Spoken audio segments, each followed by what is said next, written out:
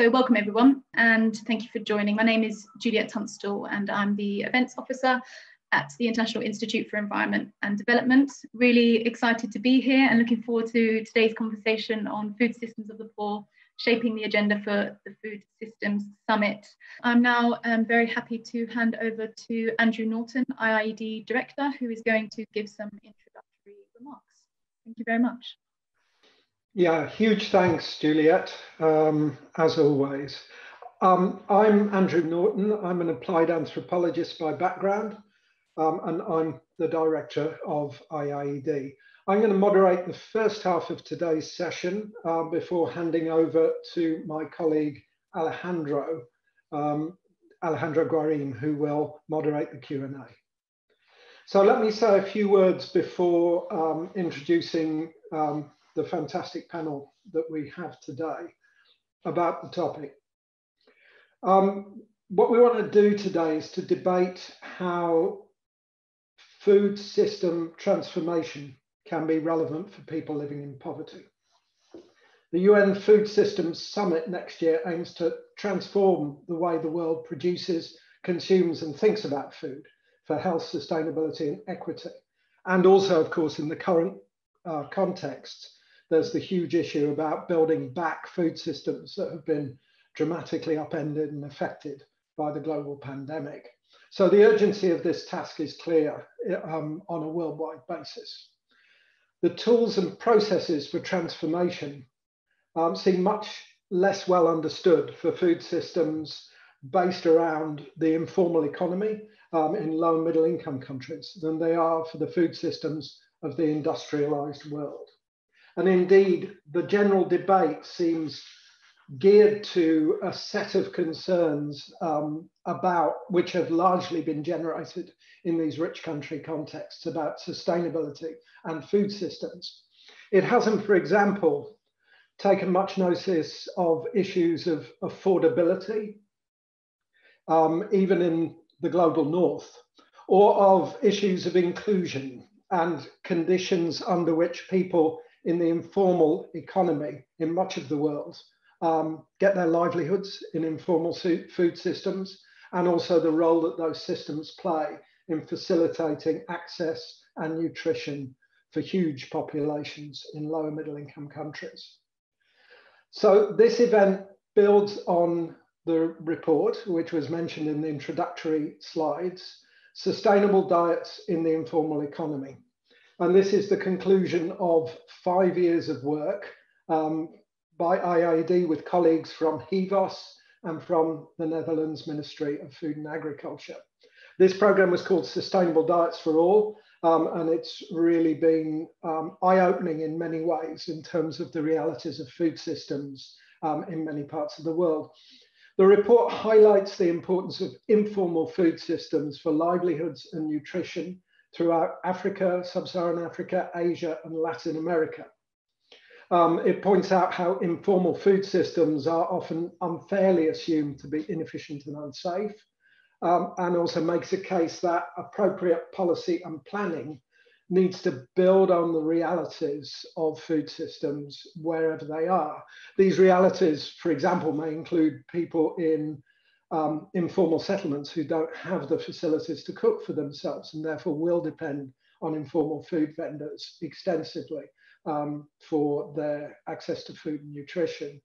Um, and this is a sector also which is dynamic and entrepreneurial, um, often in the face of hostility from authorities or a lack of understanding at best from authorities that control large amounts of the conditions under which they work.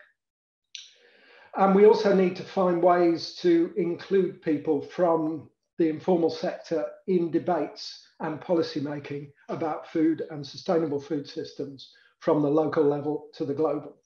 So that's the agenda for today's discussion. And we're delighted to have an excellent panel with us.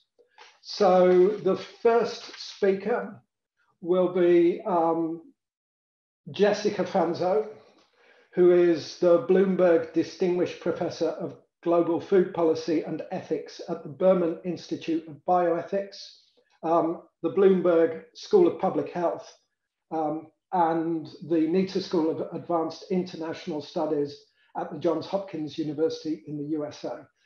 She also serves as director of Hopkins Global Food Policy and Ethics Program and of director of Food and Nutrition Security at Hopkins Alliance for a Healthier World, and many other things. I think the full bios will be placed um, in the chat if you want to see more of our speakers at the moment. And Jessica is going to be taking on the issue of the Food Systems Summit and the path to food systems transformation. Jessica, please go ahead. Great. Thank you so much, Andrew and IIED, for inviting me to this really important and, and timely panel and, and, and session. Um, I'm going to talk a little bit about the UN Food Summit um, and, and, and some of the framing, as well as, as what Andrew had, had talked about this transformation of food systems and who is it, who, who is this transformation for? So I think we're at a, a really pivotal moment in the world, uh, you know, geopolitically, climate-wise, pandemic-wise. And because of these grand challenges that the world's facing, we're really starting to see inequities uh, play out in a significant way. We know the poor and, and those who are marginalized and disadvantaged are disproportionately affected by climate change, they're disproportionately affected by the expense of eating healthy. They're disproportionately impacted by COVID. Some of the poorest of the poor have uh, insufficient availability of food, poor physical and economic access to food, and of course, high burdens of malnutrition. And those high burdens of malnutrition are, are clearly being seen as comorbidities with COVID 19. And so the constraints that the world faces will be all the more difficult for those who have uh, insufficient incomes, those who've been purposely marginalized and disadvantaged. So when we think about the UN Food Summit, I, you know, I think about a few different things. There is a, a call for game changers game changers that will completely transform food systems. But what's the game that we're playing? And who controls the game? Who contra- controls the, the chess pieces on the chessboard? Um, what's the context of those game changers? So the context needs to be central to those who have low resources, low capacity, and those game changers need to be directed through the eyes of those who've been marginalized and disadvantaged. So, to me, the key piece to the UN Food Summit is to ensure that the marginalized, disadvantaged, the poor are at the table of the summit, not in the back of the room, not online on Zoom calls, participating in networks, of, of getting feedback for the summit, but sitting at the summit next to the envoy, directing the dialogue, not the elite, not the usual suspects. Their voices need to be heard, they need to be valued.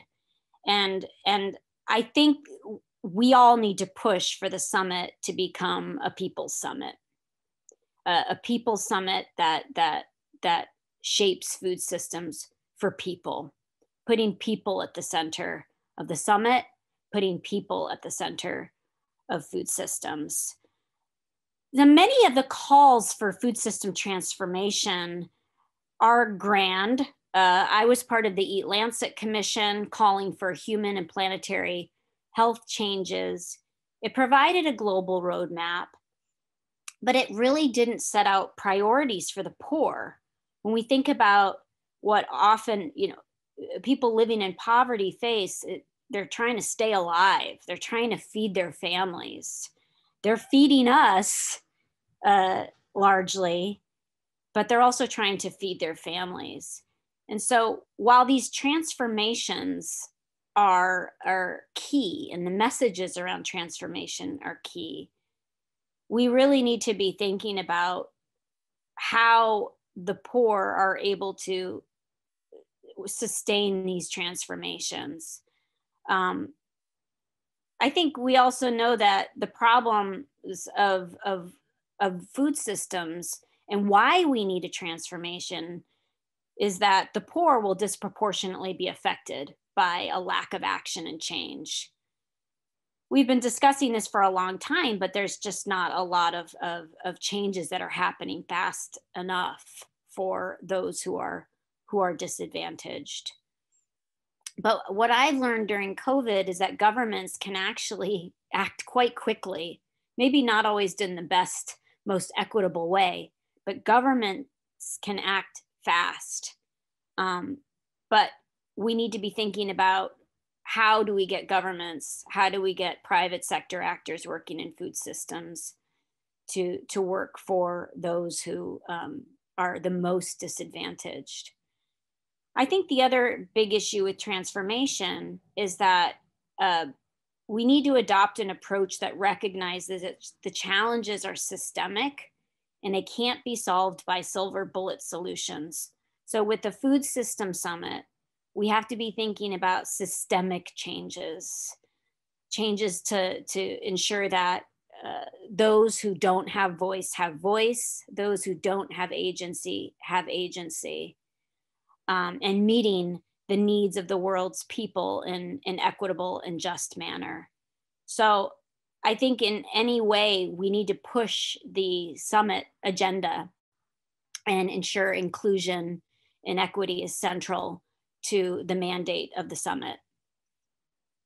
And I think I'll end there and looking forward to the conversation and hearing from the other panelists.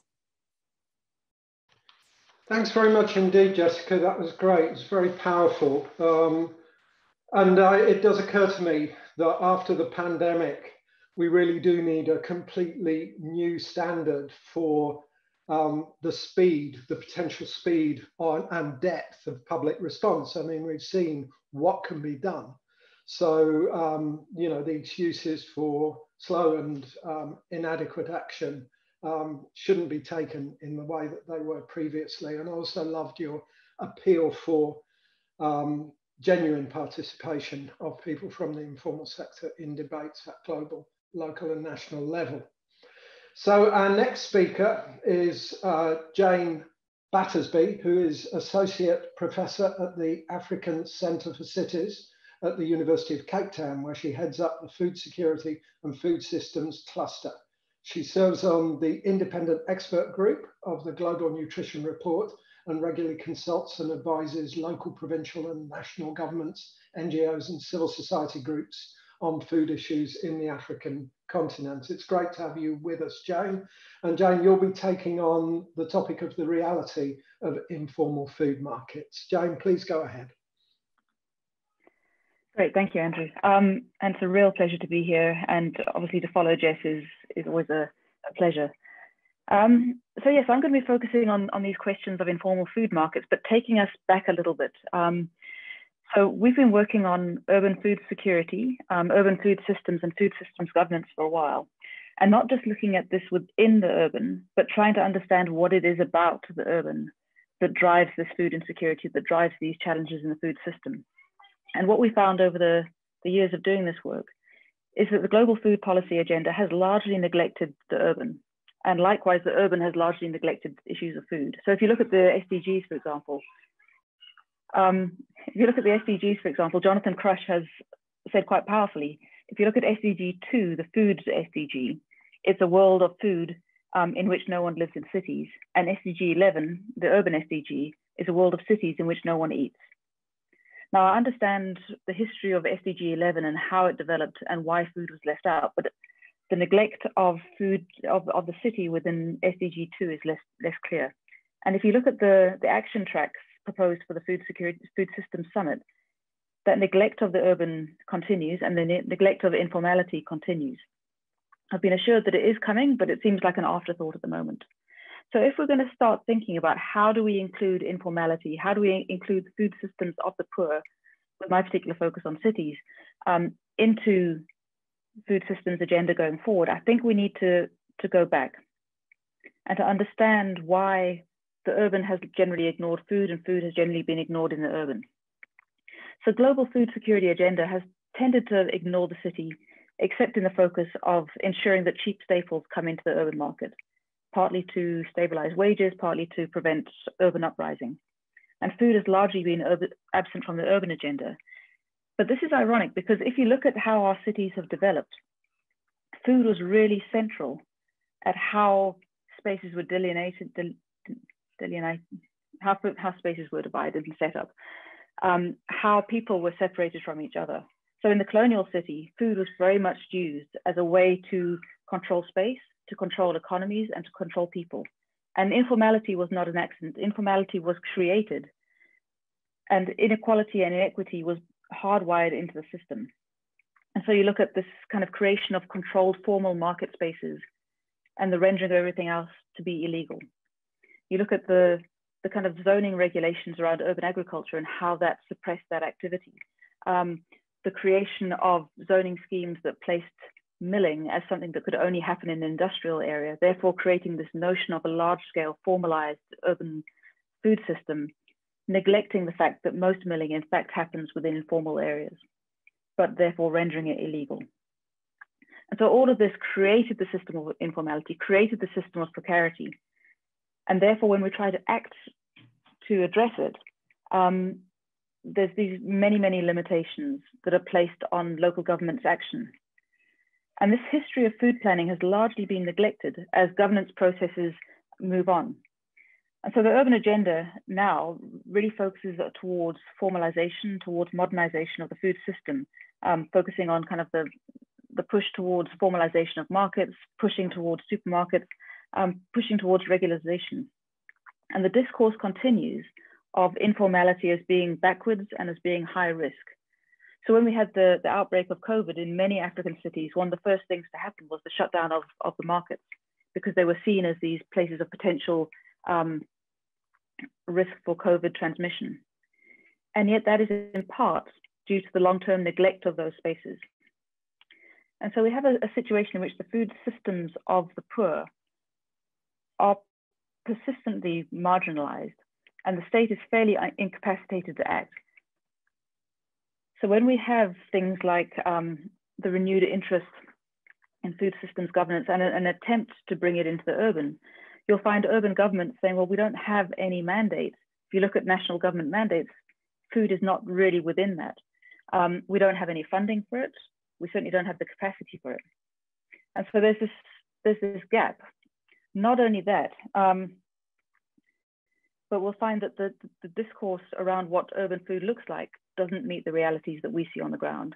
So you'll hear, for example, World Bank talking about cities of less than 1 million as being agro cities. And yet when we go into those cities and understand where the food is coming from, yes, there's rural urban linkages, but likewise food is coming transborder from many different places. And when we misunderstand the nature of the city, then the kinds of solutions we put in place are poorly aligned to the interests of the poor. So there's been many millions thrown into market upgrading or market relocation, and yet many of those markets become white elephants because they, they fail to understand how these things interconnect within an urban system, how the market connects to the transport system, how multidimensional poverty plays out in people's ability to access and utilize food. So I think the challenge is that this historic neglect of food in cities and this informality that has been marginalized, I would say on purpose, um, leaves the global governance processes with very little space to actually proactively engage in the food systems of the poor. Um, and at the moment, I don't see that the Food System Summit is adequately aware of the politics of these sites or of the very real nature of the food systems that are that are feeding our populations. And I think I'll Thank you. Thank you very much indeed, Jane. Um, again, a really powerful contribution. These kind of themes of duality, power, and the history of marginalization of the food systems of the poor in many parts of the world. Um, and I'm sure these are themes we will come back to in the discussion. Also, your challenge as to how an event like the Global Summit um, can move forward, given all of those deep historical barriers to progress.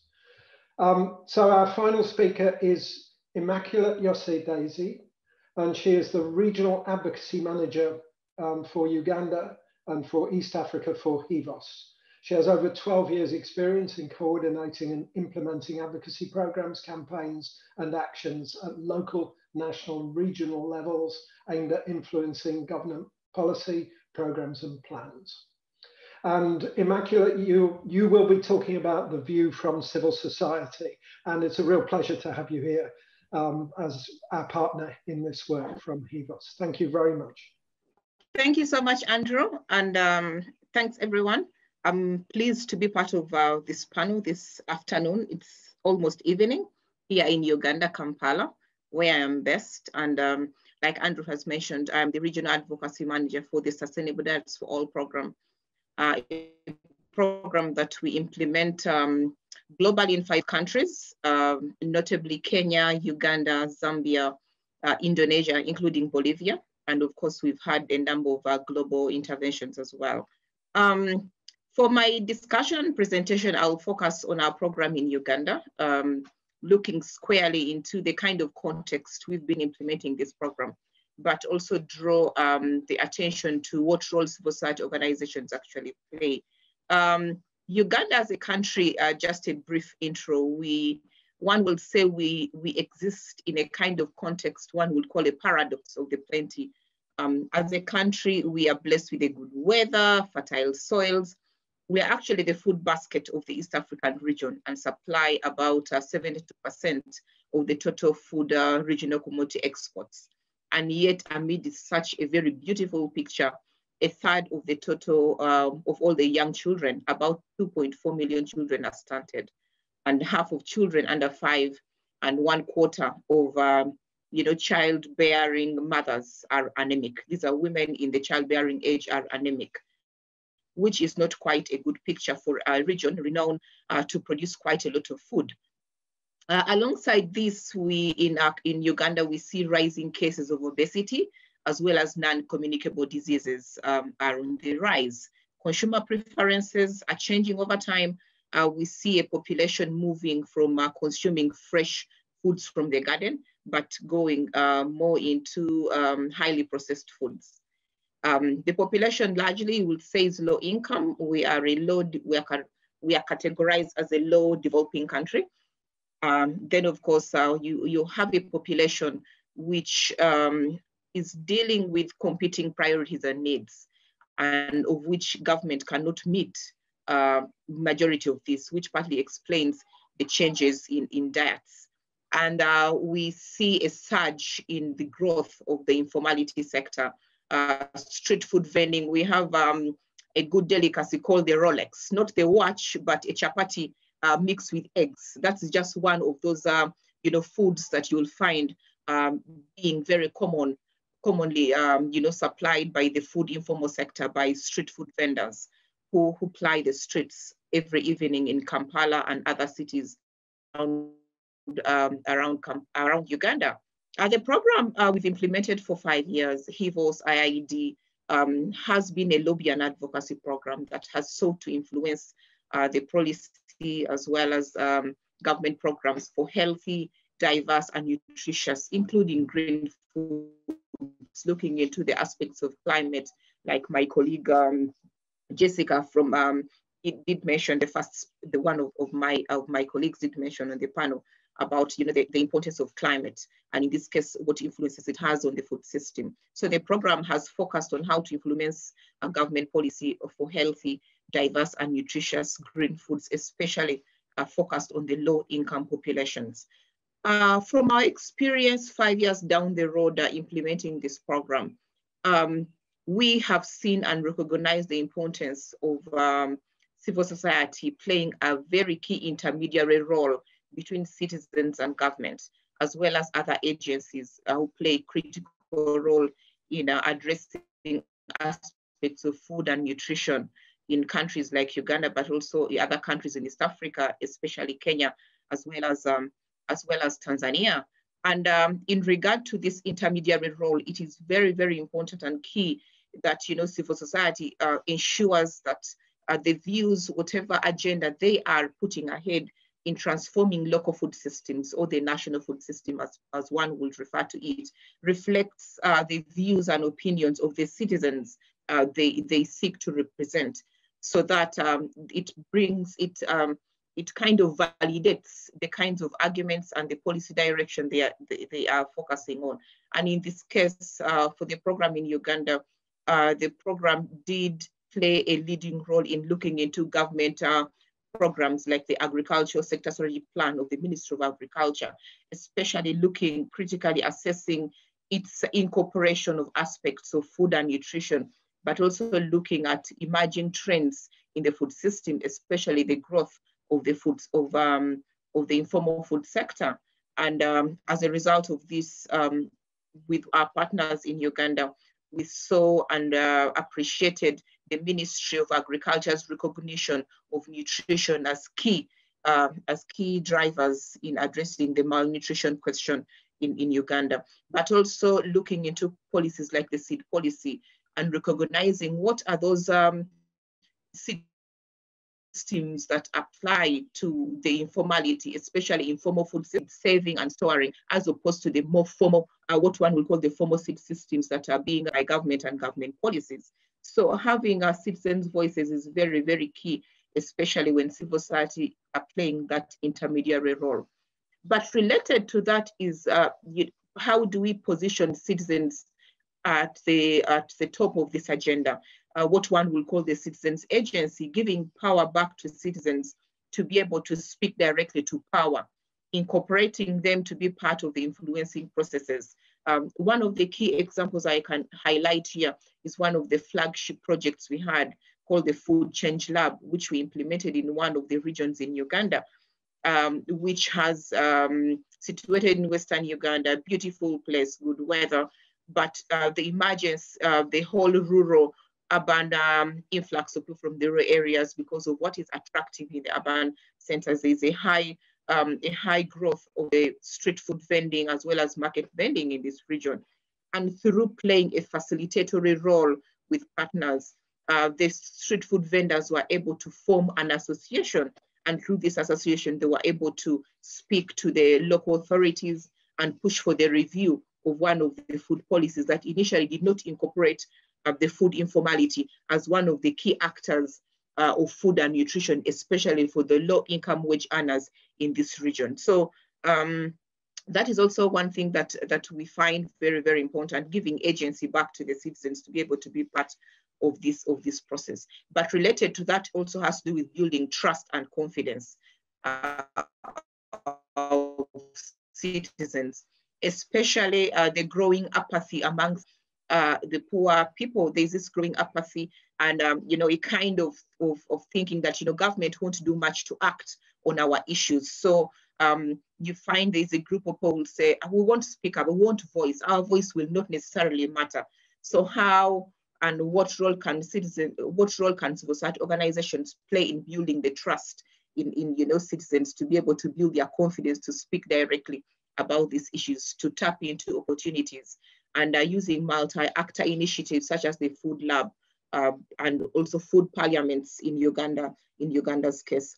Um, citizens were able to pass resolutions and then later effected by uh, government authorities in, in this regard. So that building of trust is, is something that, that we find is very, very important. Um, going uh, back to the, the summit that is, uh, is being organized, um, of course, we do recognize the importance of these of high-level panel discussions and, and all other kinds of conventions that happen. We live in a globalized world and we can't uh, negate the fact.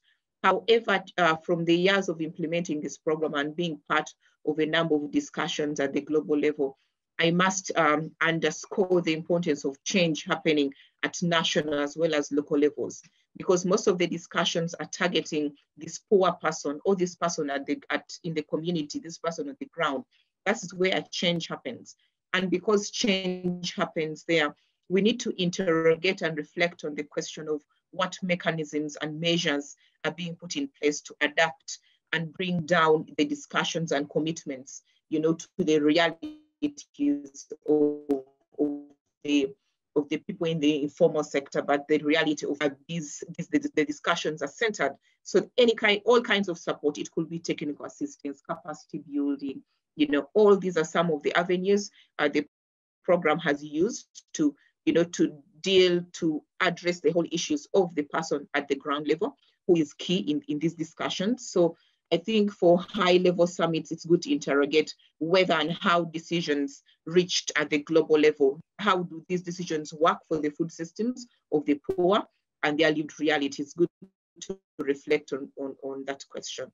Um, how do we, um, you know, one of, my, of our colleagues the panel, on the panel talked about how do we accord. It's very important, I think, to accord seats at the table for the poor where these decisions are being made so that they're able to bring this kind of value, this kind of meaning, this kind of reality in which they live at the table of the discussion so that decisions reached speak to the, to the realities and the kind of contexts within which they operate.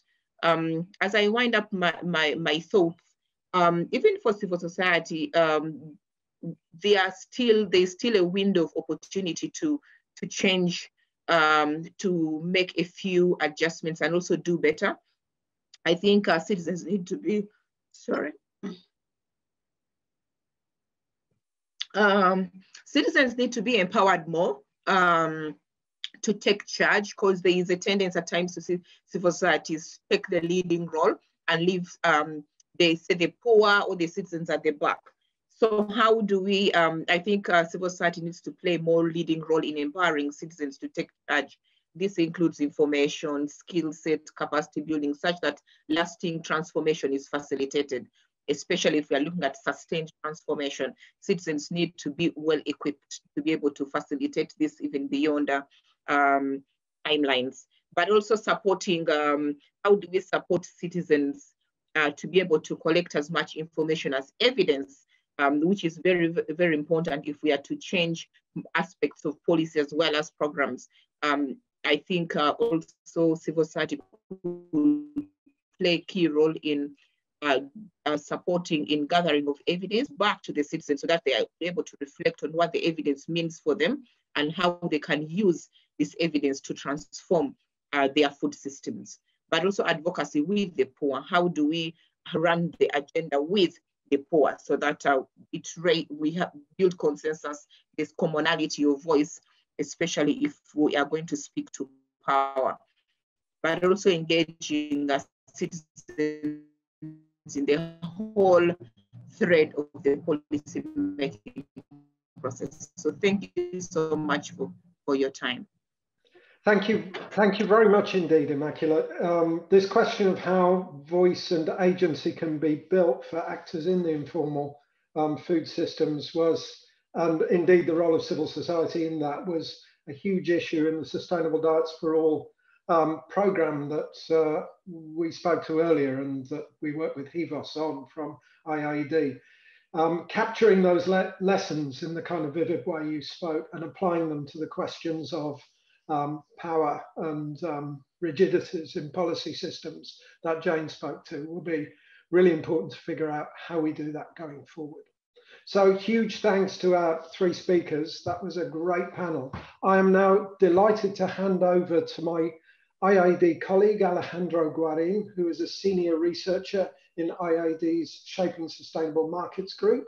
And Alejandro leads IIED's work on agro-food systems from smallholder farming to large-scale entrepreneurship, informal markets and retail and consumption and nutrition. So please go ahead, Alejandro. Thanks, Andy. Thank you for your words, and thanks to all our panelists. So before we open up to, to everybody, and we've already had a trickle of really interesting questions, I'd just like to maybe give five minutes or so for the panelists to react to each other. So I'm gonna give, I'm gonna go in the same order. I'm gonna let Jessica go first, then Jane and Immaculate, and just quick thoughts prompted by by what the other panelists have have said. So Jessica, why don't you go first? Thank you. Yeah, thank you, Alejandro, and and thank you um, to Jane and Immaculate for the great thoughts and comments. Uh, to um, just a couple of quick thoughts to to Jane's uh, um, speaking points the the urban issues are, are you know massive and this idea of of the the cheap food paradigm of these processed packaged foods and and um, the the significant contribution that those are making to diets um, can't be underestimated. And uh, I was on a call earlier today with Action Track One of the Food Summit, particularly a subgroup looking at a, uh, the affordability of diets that Corinna Hawkes is leading at City University in London, and thinking about how do we not only make diets more affordable, but how do you uh, create more purchasing power for for those purchasing food and the perception of value? How do we value food and what what are we willing to pay for that food um, so we've been having discussions about that and thinking about well what are the potential solutions to ensure that food is more affordable and accessible particularly for those that are in deeply rural areas or the urban urban poor those living in in in uh, poor cities? I you know i spent some of my time in baltimore which is a city that's been really struggling with uh, systemic issues of racism and poverty and incarcerated affected families and so how do you work to improve the food system in those difficult environments um, and so I, you know, I'll be curious to hear what Jane has to say about urban agriculture and some of the other questions coming up around local versus global food and how does that impact urban populations. And to uh, Jessica, can, I, I'll I'll let Jane respond immediately actually because it's an interesting okay, question good. so we don't have to like wait till yeah. the very end i think that that's a really interesting question and i'll let jane uh comment Great. if you want thanks alejandro thanks jess um so were you specifically asking the urban agriculture question? Yeah, why not? it's often a question that comes up. Is urban agriculture sure, going to feed the world? um, well, I can I can do a one word answer to that. Um, so Cecilia Tacoli also asked this question in the in the Q and A, and my sense is, you know, in in the COVID era, I think we are seeing a, many more people turning to urban agriculture, and, part of it is around the real food crisis. Part of it, I think, is a, is around this need to try and take control over systems, and, and all of those things kind of play in. My concern is that it's often been the kind of the, the, the, default solution that's promised to people um, without without really understanding kind of how people's lives actually operate um, and also how urban markets operate. So if it's around own, own consumption, that's one story. But if it's around feeding into markets, there's a real need to, to understand how those systems operate. So my, my concern is I think, I think it is really a key element of, of the solution. Um, I think there's an awful lot of work that needs to be done in making it work better, be that around issues around zoning, around agricultural support mechanisms, around thinking about how it links to, to markets. Um, and so I'm, I'm, often given the reputation of the person who always says that urban agriculture isn't the answer but it it is and it isn't. Um, and we need to be very careful about who's promoting it and for what purposes. And if, if it's not coming from the voices of the poor and if it's not designed in a way that works for the poor, then I, I worry that the state and other entities are, are abdicating their responsibilities to address food system change more broadly. Thank you. Jessica, you had a second, there was a second part to your question, I think. Um, to immaculate oh right um, yeah there was something i was thinking about that she said towards the end of her speaking points and it was about it seems like when you're thinking about nutrition and food systems and and and agriculture there's a lot of dialogue happening at the global level. You know and before covid people were flying around going to meetings talking about food systems. And and it's exactly what immaculate had said and how much of that global dialogue and global conversation gets down to the community level. You know i've i've traveled to i work mainly in rural places and have traveled to some very deeply rural places and it looks like none of that dialogue is getting down to the community level.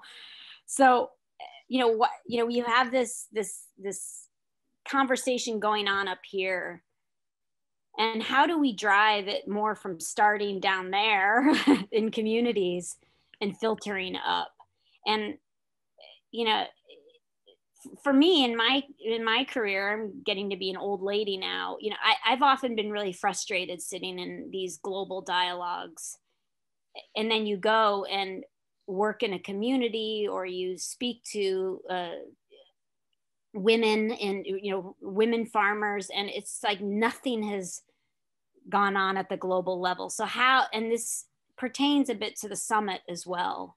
You know the summit's going to be in new york potentially if COVID ever leaves, which is not looking good right now in New York.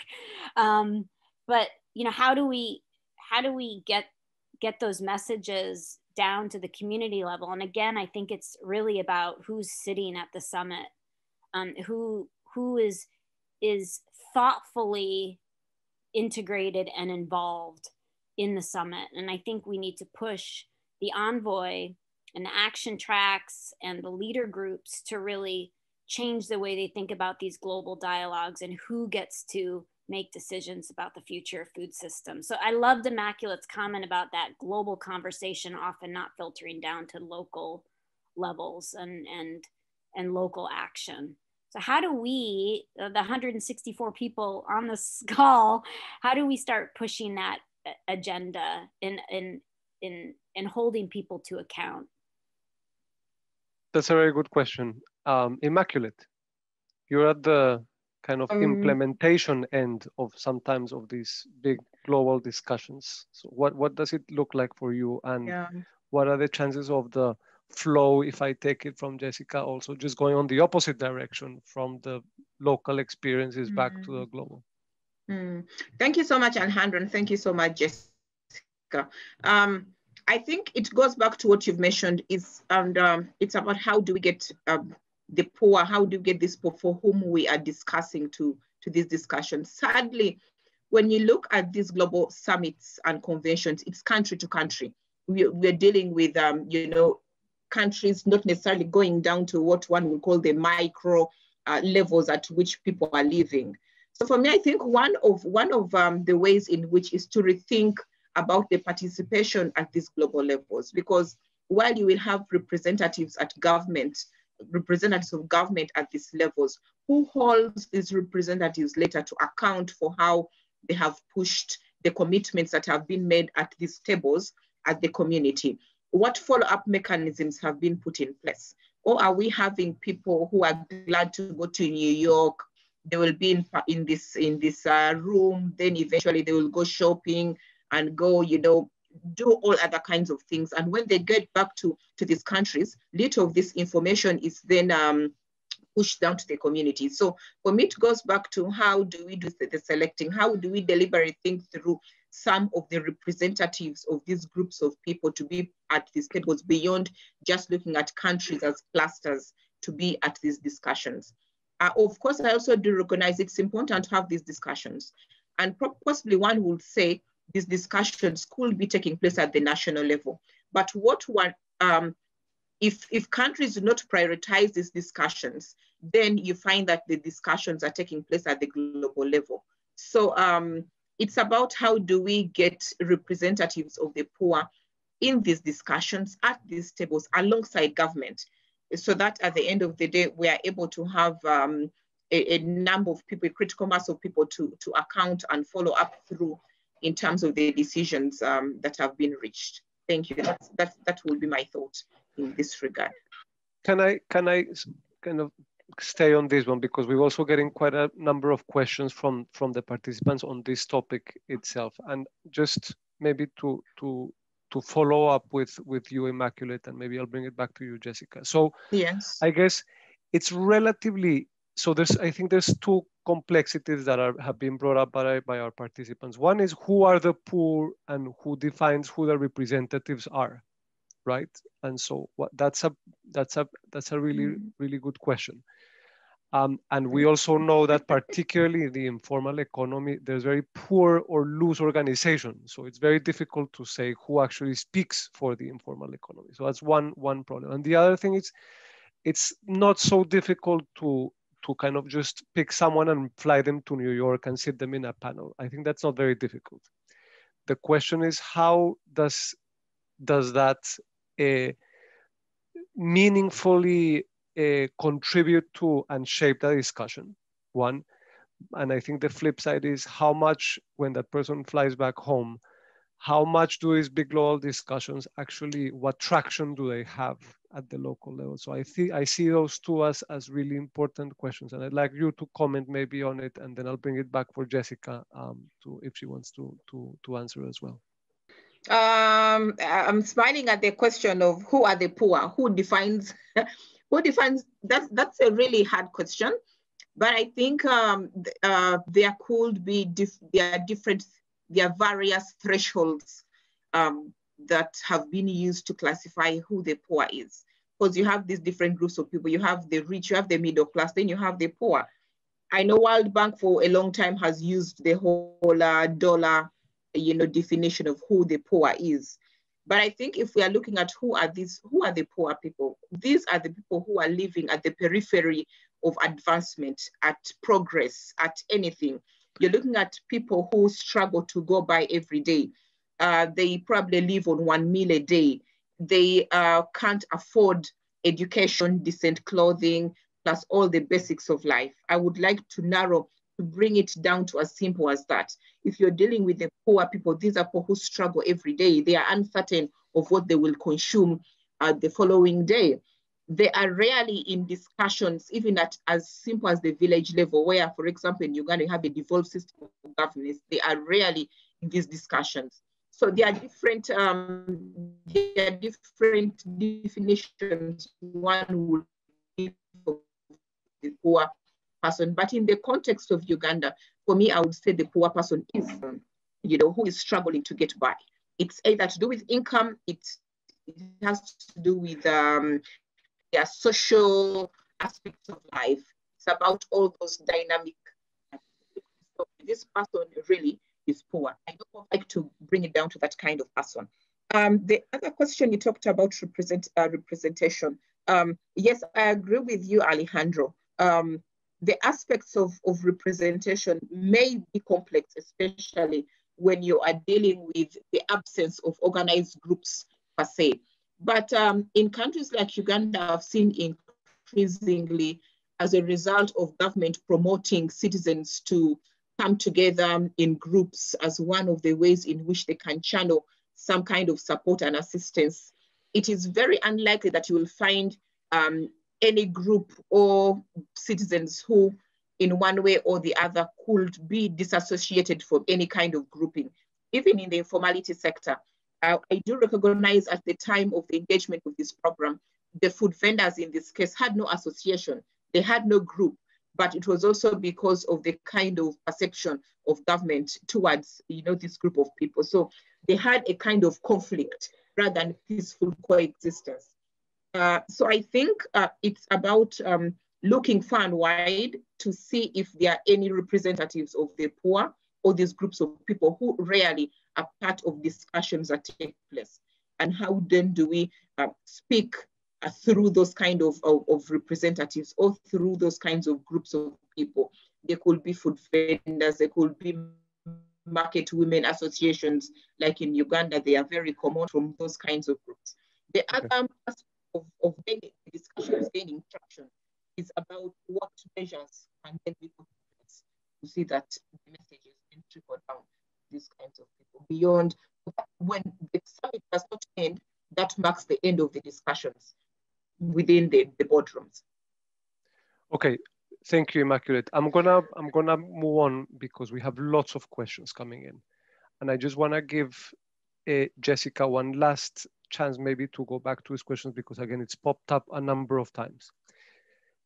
Since you've been involved in kind of the organization of these very high level uh, events and, and processes, what would it look like or what, what, what would be helpful in terms of kind of representation of the poor? What's, what is a workable solution in your mind to you you yourself said we want this to be the people summit we want the people sitting at the table what would that look like for you to have people sitting at the table to me what it would look like is having food system workers and actors meaning farmers small and medium enterprise, you know, entrepreneurs sitting at the table. You go to a lot of these meetings, and the farmers and ranchers and pastoralists and fisher folk aren't there. We're, we're talking about livestock and its impacts on planets, yeah. right? On the planetary health. So yeah. Consumer groups, you know, that that focus on food justice issues in their communities. There's uh, you know a lot of groups working all over the world in urban places rural places that are representing consumers whether it's through faith-based organizations or community leaders and uh, you know one of the the key things we learned from climate is youth who has shaped the climate agenda ensuring that everyone in the world knows how important climate change is it wasn't the ipcc it wasn't the UN Secretary General. It was youth, young people last year marching in the streets. We don't have that for food. We don't have that powerful drive from the bottom up pushing for change yet. A lot of people don't even know about the food summit. they don't even know it's happening. We do in our small little world. But everyone knew about the climate summit. And I think we can bank that on a very powerful youth energy surging from the bottom up that created the the urgency of the issue. We need that in food. We don't have it. Yeah.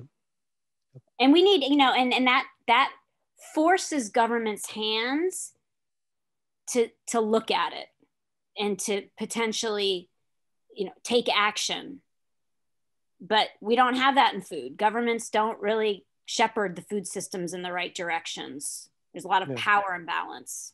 So Jane, let me let me switch over to you. I'm I'm curious to hear your answer to this question because it's coming up again and again and again about about how do you effectively involve I think we all agree that it's important to get these voices into the discussion, but how do you effectively do it? And I'd like to get your take on that first. Um, but I think there's also lots of other questions for you, but let's start with that one. Yeah, I mean, I, I think part of it then is about, we, we were having a meeting with a group of community activists this morning who were just talking about how exclusionary the discourses that we that we're engaged in are, right? And so we've got to think about how we how we tell the message, and and maybe one of the reasons that there isn't this mobilization is that we've taken something as as tangible as food and made it really hard to understand. And so, is there a lot of work that we need to do in, in translation?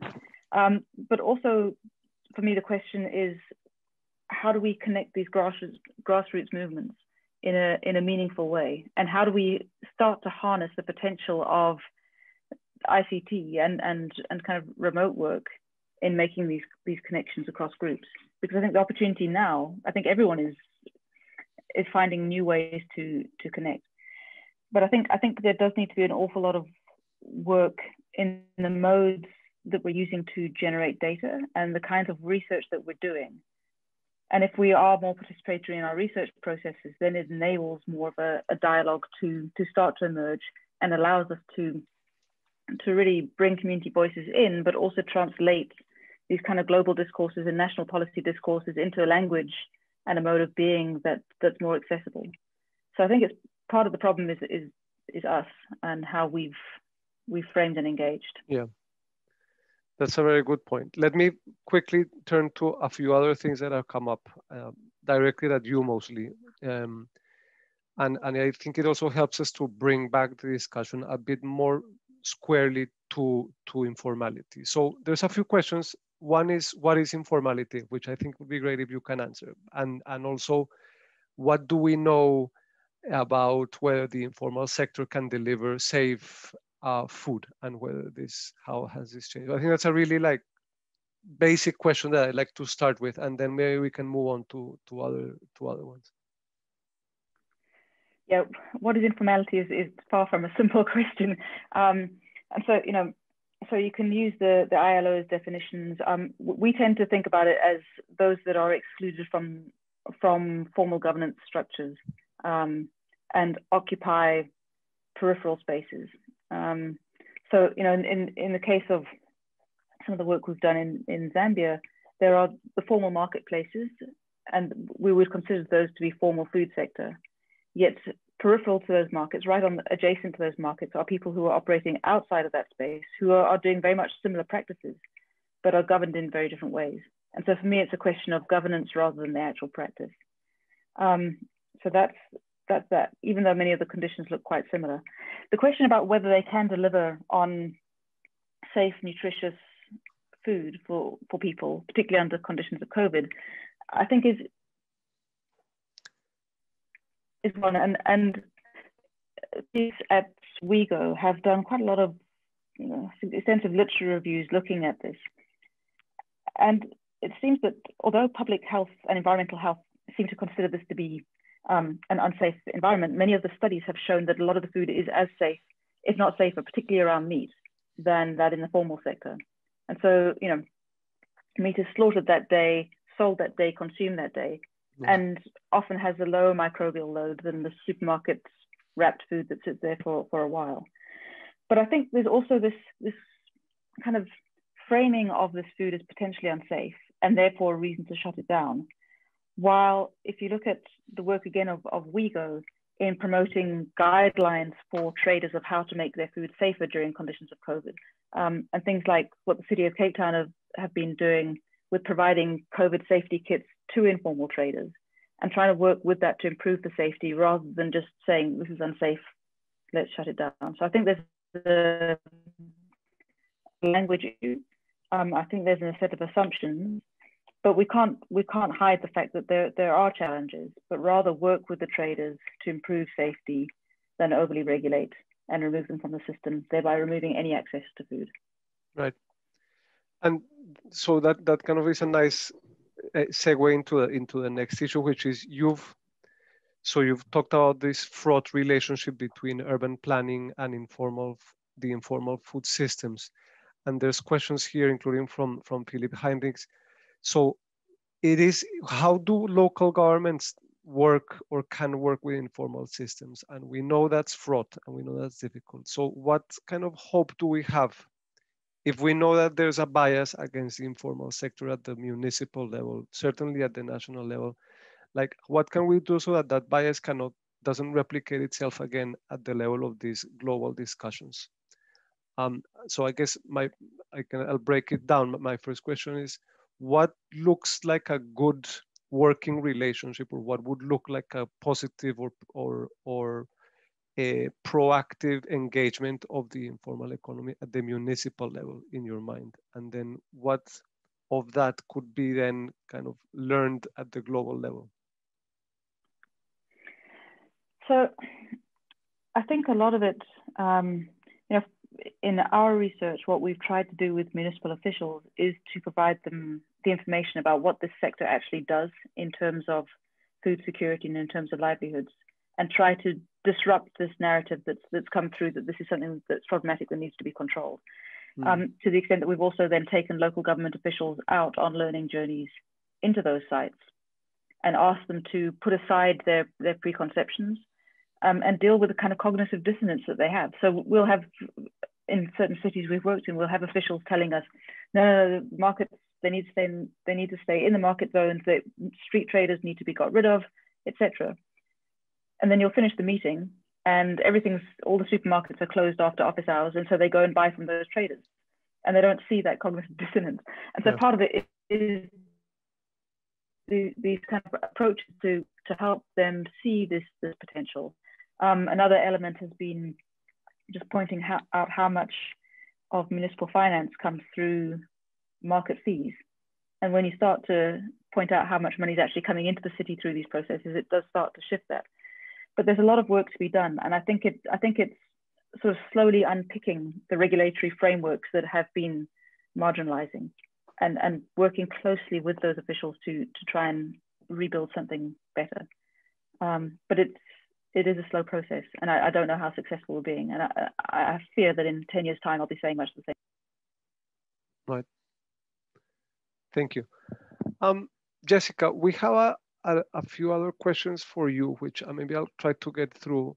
uh, there's one, the most voted one uh, from our participants, uh, which is what are the most powerful and feasible leverage points to transform the food system? And where in the food value chain should we invest more time and resources to change the food system? And I'd like you to maybe think of this question in light of, of our discussion about informality and these kind of under the radar parts of the food system. All right, that's easy. That's easy question. Yeah, I'm sorry. That's a huge question. Um, I mean, I think there's many entry points, and that's what makes food systems complicated, right? Um, we've got many ways we can reshape agriculture to improve the production and injection of healthy foods into supply chains. Um, but policies need to change trade policies, subsidy policies. Um, there's a lot we can do in the food environment, the places where people shop and order and buy food. There's a lot of evidence of how to reshape those food environments to help consumers uh, with better decision making around healthy foods and more fair and equitable food environments. Um, there's a lot we can do on consumer knowledge, consumer uh, education, or like I like to say, citizen knowledge, and and making information easier. Um, again, though, it gets back to what are governments investing in to help their citizens along the way, whether it's uh, farmers or food system workers or informal workers, whether it's citizens making decisions about what to put on, on their table to feed their families. Um, to me, I, I've been quite, I know, yeah, I mean, I, I'm, a, I'm, I'm in the United States right now, so I'm a little bit down on governments overall, I have to say. But gee, I wonder why. Um, but I, you know, I, it i always used to think that governments didn't really act quickly. And it's getting back to some of my initial comments but i was just you know because working in climate working on hunger working on poverty for years and governments don't seem to take any action. But boy i was so surprised at how quickly governments acted with covid when they feel there's an imminent immediate threat and, and how quickly they can change you know lockdowns curfews whether they're good or bad but the action taken, the exception of the United States, is profoundly interesting to me in that if governments do feel there's a threat, they can take action. And to me, can we?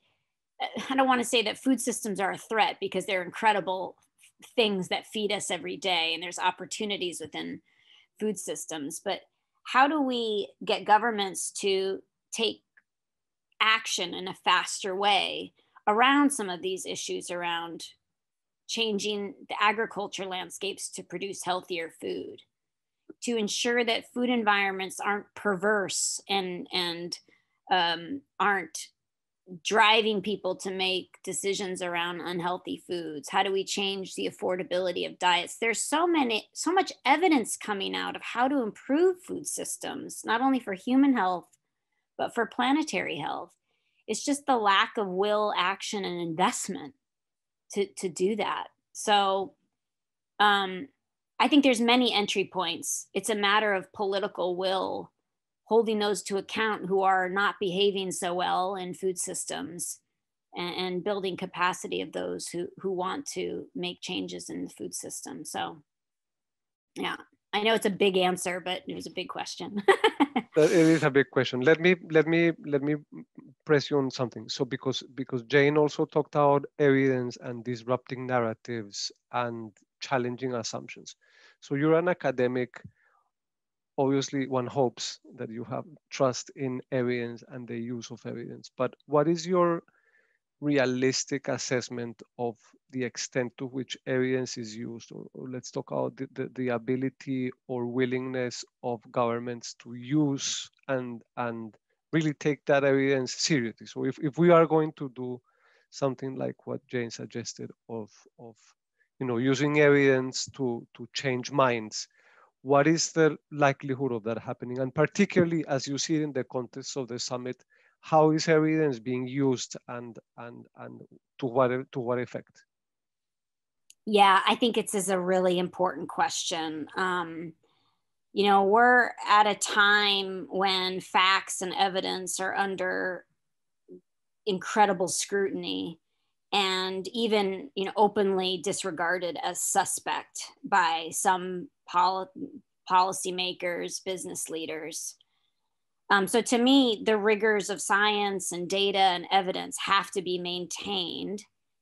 And data and evidence can play such an important role in charting a positive and sustainable direction for global food security and nutrition. And, and research can bring wholesale changes to attitudes and political thought and action, but it's really under threat right now. So, you know, how do we ensure that um, data is not disregarded? I mean, you, again, taking climate change, climate scientists in the United States handed over evidence that climate change was happening to the US government 40 years ago in the 1970s and it was ignored. Are we going to be in that situation? We already are. You know, we've we've been working on food and nutrition for a long time, and it's not really improving that much. So how do we really push for data changes? And we have evidence of where data has really changed policy. Think of trans fats, very strong evidence of it being detrimental to health. And now you're seeing bans of trans fats in the food system. Now, whether or not the replacement of other fats is, is healthy or not is a whole nother debate. But there's evidence where strong, strong evidence can lead to policy change. In the summit, there is a science committee that's uh, been uh, formed and it's providing geographic representation from all parts of the world. Um, it will be important for that scientific committee to hear different types of science, not only what's published in peer reviewed journals, but evidence from indigenous peoples, you know, experiential evidence, all kinds of different evidence. Um, it will be important for them to listen and, and pull that into the summit dialogue. And so there's many sitting on that science committee that all of you should be reaching out to now, will that science committee become like an IPCC, an intergovernmental panel on climate change type body? As you know, the, those reports come out every five years and it weighs evidence from low to high confidence. Yeah. That helps policymakers. That could be an important um, outcome. But again, the kinds of evidence that need to be weighed need to, of course, be the rigors of science that's published in high impact journals, but also lots of different evidence that comes from the ground up, community based evidence, indigenous people's knowledge, etc. Um, so that's that's my take on on data and evidence. I'm sorry if I'm being so pessimistic, Alejandro. no, no, no, don't worry. You're you're you're you're you're recovering from four years of of reasons to be pessimistic. So I completely understood. Don't worry. Let me, we have about five minutes, which I want to use uh, going back to the issue of the summit itself. And I'm going to start with you, Jessica, and then I'm just going to go back and, and let Immaculate have the last word.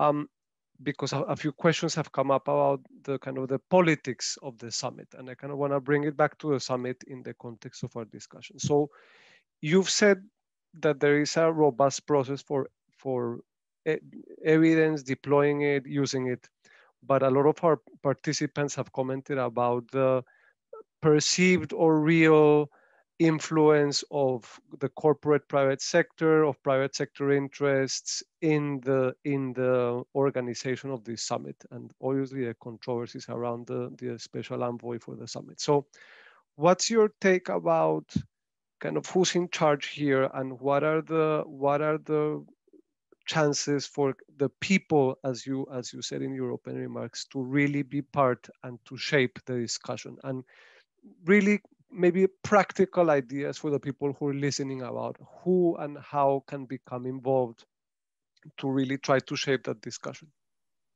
And yeah, I, I, don't know too much about the envoy and yeah. ties with with private sector and and um, I, I've heard a little bit of inklings, but I haven't delved into understanding that fully. And and how is a big business multinationals involved in the summit? I can't speak to that because i'm not engaged at those high levels myself.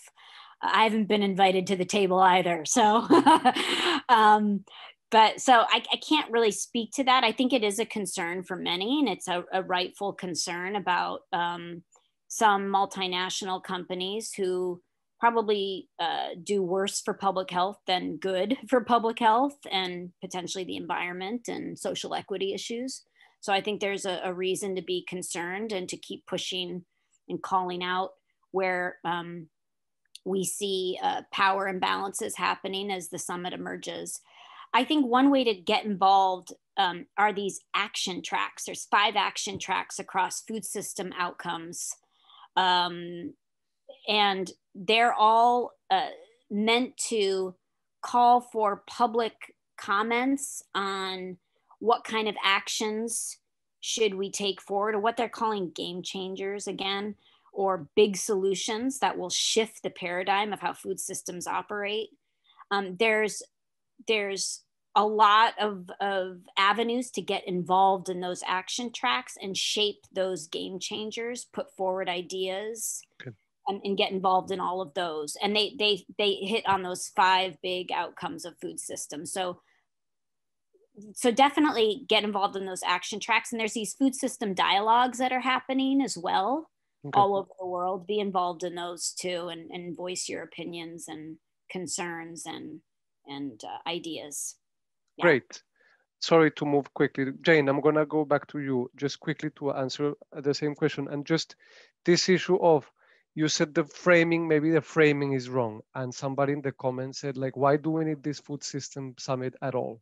And I want you to maybe end your last minute or so on that question, like from your, from where you are and the type of work you do at the urban level, does this make any sense? And, and what, what do we need to, what would we need to do to make it make more sense?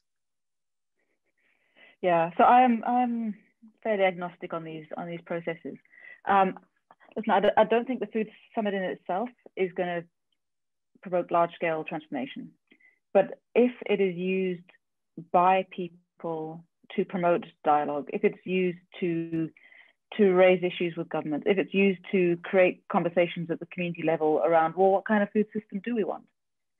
I think that's where the change will come. I think that the individual, the process in itself is not that powerful, but I think it's then down to those who want to engage to move it forward and, and that's where I see the potential coming through.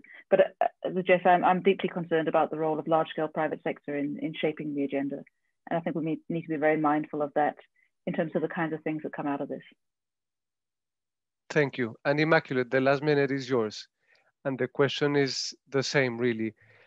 Uh, what would a successful summit look like for you in terms of your engagement with civil society organizations in Uganda, for example? What would you say what would come out of that what that could mean something important for you and your work um, thank you so much, Alejandro.